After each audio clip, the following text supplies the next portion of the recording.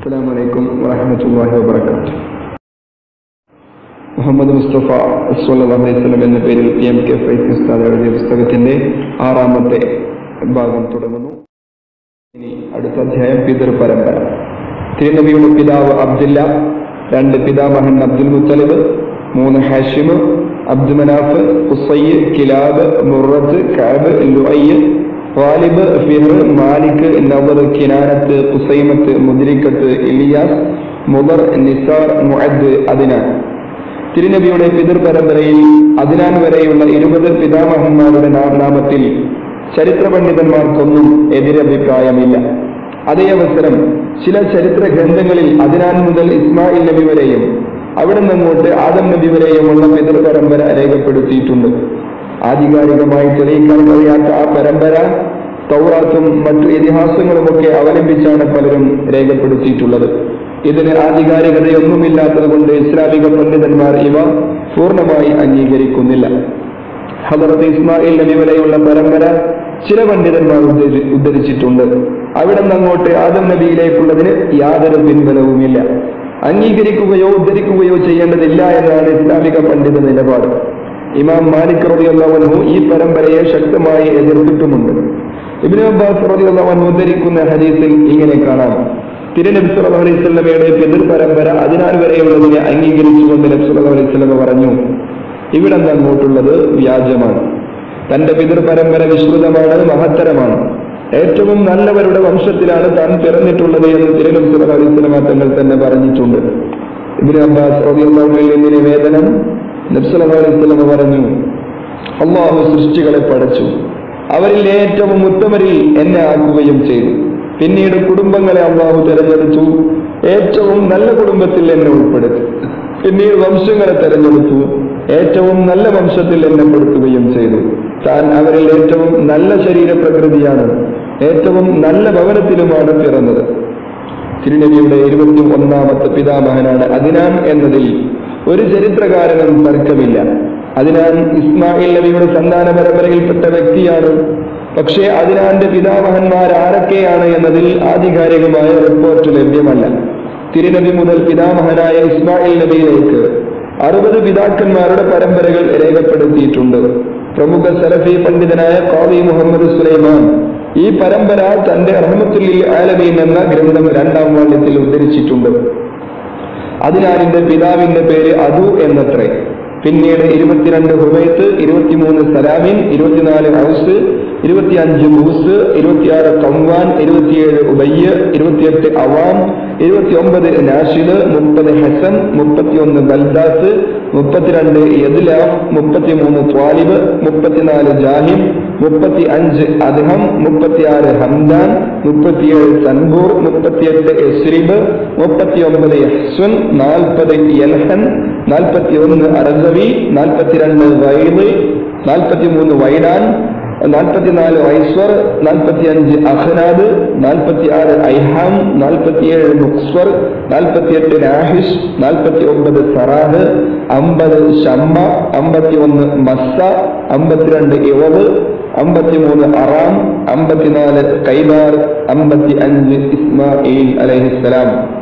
ഇമാം ചൗധരി തന്റെ ത്വാരീഖിലും ഇമാം ഇബിൻ സഹദ് തന്റെ സ്വബക്കാത്തിലും ഇത് ഉദ്ധരിച്ചിട്ടുണ്ട്. പക്ഷേ ഈ ഉദ്ധരണിയെക്കുറിച്ച് ആധികാരികമെന്ന് പറയാൻ പറ്റാത്തതുകൊണ്ട് മുസ്ലിം ലോകം ഈ പരമ്പരക്ക് ഔദ്യോഗികമായി അംഗീകാരം നൽകിയിട്ടില്ല. തന്റെ പിതൃ പരമ്പര പറഞ്ഞപ്പോൾ അതിനാൽ വരെ ഈ തിരുനബി നിർത്തി. ശേഷമുള്ളവരെ കുറിച്ച് തിരുനബി പറഞ്ഞത് ചേർത്ത് പറയുന്നവർ കള്ളം പറഞ്ഞു എന്നാണ്. ഉമർ നിന്ന് ഇങ്ങനെ ഉദ്ധരിക്കപ്പെട്ടിട്ടുണ്ട്. നബിയുടെ പരമ്പര അതിനാൽ വരെ ചേർത്ത് പറയാം. അതിനപ്പുറം അതിനപ്പുറം ആരൊക്കെ എന്ന് നമുക്കറിയില്ല. ഇബ്നു അബ്ബാസ് റളിയല്ലാഹു പറഞ്ഞു തിരുനബി സല്ലല്ലാഹു അലൈഹി വസല്ലമ അറിയണം എന്ന് കരുതിയിരുന്നുവെങ്കിൽ അറിയുമായിരുന്നു. ഐഷ ബീവി അൻഹ പറഞ്ഞു അതിനാലും കഹ്വാനിനും അപ്പുറം പിതൃപരമ്പര പറയാനറിയുന്ന ഒരാളെയും നമുക്ക് ലഭിച്ചിട്ടില്ല. ആധികാരികമായി പറയാൻ പറ്റാത്തതുകൊണ്ട് ഇങ്ങനെ പരമ്പര പറയേണ്ടതില്ല എന്ന് തന്നെയാണ് ഇസ്ലാമിക പണ്ഡിതാഭിപ്രായം. ഇമാം നബവി റബിയെന്ന് പറഞ്ഞു അതിനാലിന് അപ്പുറത്തേക്ക് അവലംബനീയമായ ഒന്നും സ്വീകാര്യമായി ലഭിച്ചിട്ടില്ല. അതുകൊണ്ട് തന്നെയാണ് ഇമാം മാലിക് റളിയല്ലാഹു തുടങ്ങിയ പണ്ഡിതന്മാർ അതിനാലിനപ്പുറമുള്ള പരമ്പര ഉദ്ധരിക്കൽ കറാഹത്താണെന്ന് രേഖപ്പെടുത്തിയത്. അടുത്ത അധ്യായം അബ്ദുൽ മുത്തലിബ്. ഖുറൈശി കുടുംബത്തിലെ അതിശക്തനായ വ്യക്തിത്വമായിരുന്നു അബ്ദുൽ മുത്തലിബ്.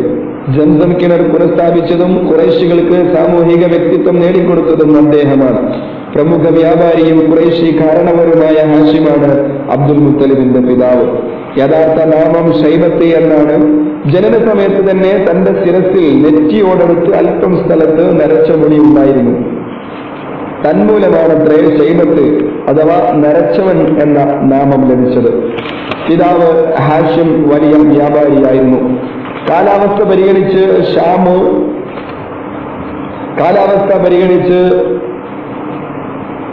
ഷാമ് സിറിയ തുടങ്ങിയ പ്രദേശങ്ങളിലേക്ക് കച്ചവട സംഘങ്ങളെ നയിക്കാൻ തുടങ്ങിയത് പിതാവായ ഹാഷിമാണ് അങ്ങനെ ഒരു യാത്രയിൽ ഹാഷിമെ യസ്രുവിൽ ഏതാനും ദിവസം തങ്ങാനിടയായി. ബനുനജാർ ഗോത്രക്കാരനായ അമ്രബിന് ജയ്ദബിന് ലബീദ് എന്നയാളുടെ അതിയ അതിഥിയായാണ് എതിരിവിൽ താമസിച്ചത്. ഹസ്രജ് ഗോത്രക്കാരുടെ നേതാവായിരുന്നു അമ്രബിന് ജയ്ദ്.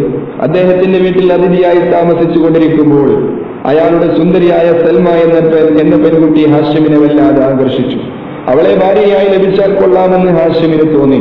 അമ്രബിന് ജയ്ദിനോട് കാര്യങ്ങൾ സംസാരിച്ചു. അദ്ദേഹം സമ്മതിക്കുകയും നിക്കാഹ് ചെയ്തു കൊടുക്കുകയും ചെയ്തു. പക്ഷേ ഭാര്യയെ മക്കയിലേക്ക് കൊണ്ടുപോകരുത്. ഇവിടെ എതിരിവിൽ തന്നെ താമസിപ്പിക്കണമെന്ന് മാത്രമായിരുന്നു നിബന്ധന. അങ്ങനെ കല്യാണം കഴിഞ്ഞ് അധികം താമസിയാതെ ഹാഷിമ് കച്ചവട സംഘത്തോടൊപ്പം ഷാമിലേക്ക് പോയി. കച്ചവടം കഴിഞ്ഞ് തിരിച്ചു വന്നപ്പോൾ എസ്രിബിൽ തന്റെ മണവാട്ടിയോടത്ത് ഏതാനും ദിവസം കഴിച്ചുകൂട്ടി. മക്കയിലേക്ക് യാത്ര പുറപ്പെട്ടപ്പോൾ ഹാഷിം ഭാര്യയോട് മക്കയിലേക്ക് വരാൻ ആവശ്യപ്പെട്ടു. അടുത്ത സീസണിൽ കച്ചവട സംഘത്തോടൊപ്പം മടങ്ങാമെന്ന വ്യവസ്ഥയിൽ സൽമ ഭർത്താവിന്റെ കൂടെ യാത്ര തിരിച്ചു. മക്കയിലെ പ്രമുഖനും കാരണവനും സാമൂഹിക നായകനും എല്ലാം എല്ലാമായ ഹാഷിമിന്റെ കൂടെയുള്ള ജീവിതം സന്തോഷകരമായിരുന്നു. പിന്നീട് ഹാഷിമിന്റെ കൂടെ എസ്രിബിലേക്ക് തന്നെ മടങ്ങിയ വാരിയെ എസ്രിബിൽ അവരുടെ വീട്ടിൽ താമസിപ്പിച്ച് ഹാഷിമും കച്ചവട സംഘവും ഷാമിലേക്ക് യാത്ര തിരിച്ചു. പക്ഷേ ഹാഷിമിന് പെട്ടെന്ന് രോഗം ബാധിച്ചു. അദ്ദേഹം ഫലസ്തീനിലെ ഫലസ്തീനിലെ റദ്ദയിൽ വെച്ച് അന്തരിച്ചു. ഗർഭിണിയായ സൽമ പിന്നീട് തന്റെ പിതാവിന്റെ കൂടെ എതിരിവിൽ തന്നെ താമസിച്ചു. അവർ പ്രസവിച്ചത് ഒരു ആൺകുഞ്ഞിനെ കുഞ്ഞിനെ ഷൈബത്തി എന്ന് പേരിടുകയും ചെയ്തു. കുലീനമായ തറവാടായിരുന്നു സെൽമയുടേത്. അതുകൊണ്ട് തന്നെ നല്ല ശീലവും സ്വഭാവവും സ്വീകരിക്കാൻ ശൈബത്തിന് കഴിഞ്ഞു. ഹാഷിമിന്റെ ഭാര്യയെ നേരത്തെ മക്കയിൽ വെച്ച് കണ്ടിരുന്ന അദ്ദേഹത്തിന്റെ സഹോദരന്മാരും മറ്റുമൊക്കെ എതിരിവിൽ ചെന്ന് കുട്ടിയെ കാണുകയും ക്ഷേമൈശ്വര്യങ്ങൾ അന്വേഷിക്കുകയും ചെയ്തിരുന്നു. കുട്ടിക്ക് ഏഴ് വയസ്സ് പൂർത്തിയായപ്പോൾ ഹാഷിമിന്റെ സഹോദരൻ മുത്തലിബ് യസ്രിബിൽ പോയി കുട്ടിയെ മക്കയിലെ കുറേശ്ശി കുടുംബത്തിലേക്ക് കൂട്ടിക്കൊണ്ടുവരുവാൻ തീരുമാനിച്ചു. മാതാവ് സൽമ കുട്ടിയുടെ കാര്യത്തിൽ വളരെ കർക്കശക്കാരിയായിരുന്നു. കുട്ടിയെ മക്കയിലേക്ക് വിട്ടുകൊടുക്കുവാൻ അവർ മടിച്ചു. ഇത് മനസ്സിലാക്കിയ മുത്തലിബ് കുട്ടിയെ മാതാവറിയാതെ വശീകരിച്ച് തട്ടിക്കൊണ്ടുപോയി. മക്കയിലേക്കുള്ള വഴിയിൽ സുമുഖരായ കുട്ടിയെ കണ്ടപ്പോൾ പലരും തിരക്കി ആരാണിത്? മുത്തലിബ് അവരോട് പറഞ്ഞു ഇതെന്റെ അടിമയാണ്? അങ്ങനെ കുട്ടി അബ്ദുൽ മുത്തലിബ് എന്ന് വിളിച്ചു.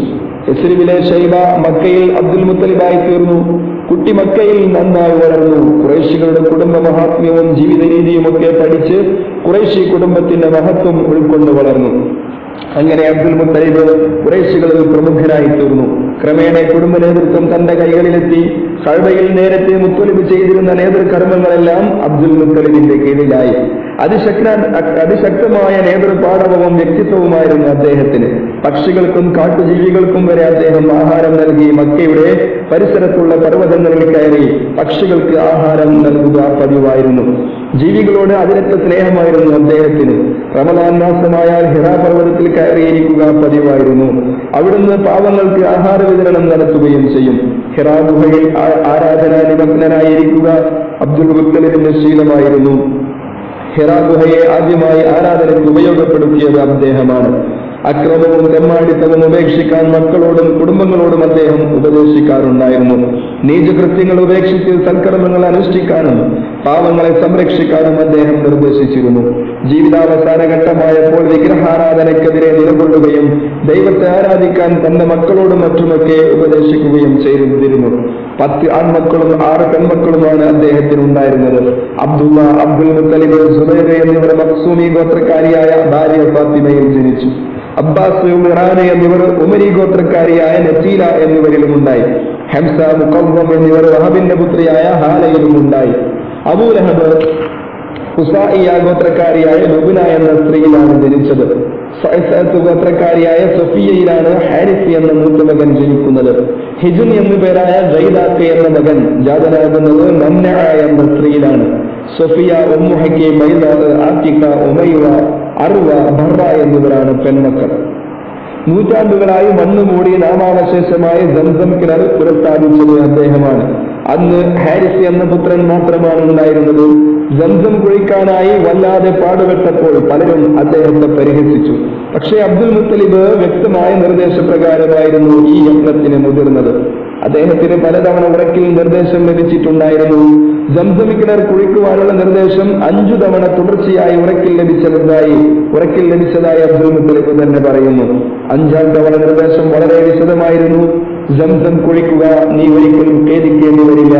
മറ്റുള്ളവരാൽ ആക്ഷേപിക്കപ്പെടുകയുമില്ല. ജന്തം കുഴിച്ചു കഴിഞ്ഞാൽ ഹാജിമാർക്ക് കുടിപ്പിക്കുക. കറിയത്തു നമ്മൾ എന്ന സ്ഥലത്തിനടുത്ത് കരിങ്കാക്ക കൊട്ടുന്ന സ്ഥല സ്ഥലത്താണ് അതിന്റെ സ്ഥാനം എന്നിങ്ങനെ വ്യക്തമായ നിർദ്ദേശമായിരുന്നു ലഭിച്ചിരുന്നത്. ഇത് കിട്ടിയതിന്റെ പിറ്റേന്ന് രാവിലെ അബ്ദുൽ മുത്തലിബും പുത്രൻ ഹാരിസും കൂടി മുഴുവനും മുഴുവൻ പുത്രൻ ഹാരിസും കൂടി മഴവും കുട്ടയുമായി സംസം കിളക്കാൻ തയ്യാറായി. കിള തുടങ്ങിയപ്പോൾ കുറേശികൾക്കിടയിൽ വലിയ ചർച്ചയായി. സംസം ഞങ്ങൾക്കെല്ലാം അവകാശപ്പെട്ടതാണ്. പിതാവായ ഇസ്മായിൽ നബിയുടെ കിണറാണ് ഇത്. എല്ലാവർക്കും അവകാശം എല്ലാവർക്കും അവകാശമുള്ള കിണറാണ്.